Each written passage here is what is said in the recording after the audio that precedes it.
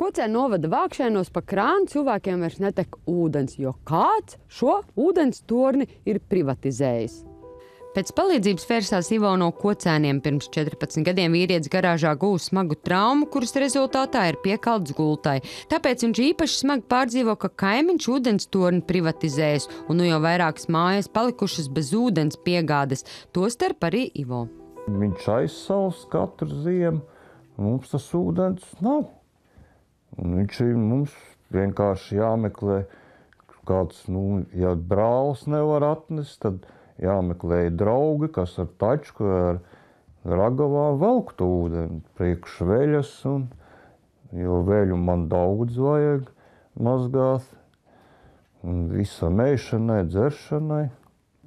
Vēl pirms pāris gadiem no šī ūdens torņa ūdeni izmantoja arī blakus esošā ferma. Pēc tam fermu kāds nopirka un izveidoja savu ūdens apgādes sistēmu. Bet vientuļais ūdens tornis stāvēja, stāvēja līdz aizsala. Pašu arī vajag apmazgāt. Un kāda mazgāšana? Slapu lupat, apslaukt cik var. Visu aizmirsu, kad jau Annā bija pēdējo reizi.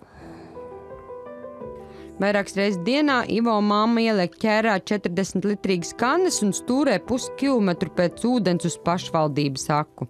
Un es tagad trīs ziemas, trīs ziemas velku ūdenī. Un vēl, kad uh, ir ūdens, ja, kad sāka, uh, nu, vista, mēs maksājam kaut kādu latu. Tad pacēlā cenu jau pa diviem latiem. Nu, tagad arī pagājušajā ziemu sāka tur kaut kas tā arī atkausēt vajag, tur kaut ko pielabot.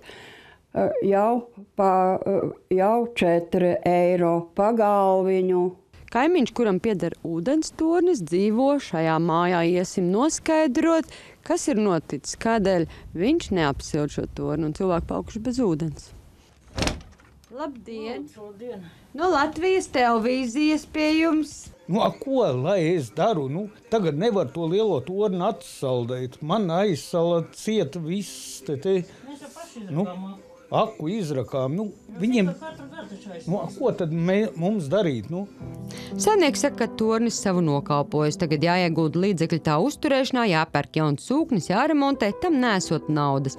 Tāpēc pats izrada sēt vidū aku, pārējie, kuriem reiz ūdeni viņš piegādājas, lai domājot paši, kā tikt pie ūdens. Jums nekāda jēga no tā ūdens tur nav? Nē, taču es tik nopirku to zemi un viss ir nopircis, bet uzmērījis. Bet... Arī pašvaldība neko nevarot lietas labā darīt privāti īpašniekiem, pašiem jātiek galā. Katram privāti īpašumam savā mājoklī jārūk ir. No nu, jau tās finanses viss maksā drausmīgi. Ko teiks par saviem 80 mampas, 200 eiro var izrakt aku.